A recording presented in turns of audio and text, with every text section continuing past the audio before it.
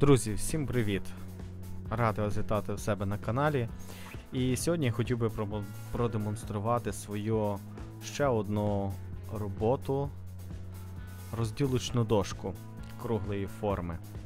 Для неї я використовував матеріал дуб, горіх, ясінь та бук.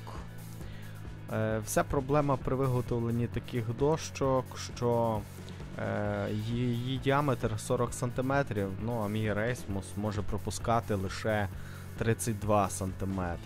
Тому такі дошки я клею рівно з двох частин. Намагаюся склеювати їх симетрично з однакових ділянок, все по структурі підбирати.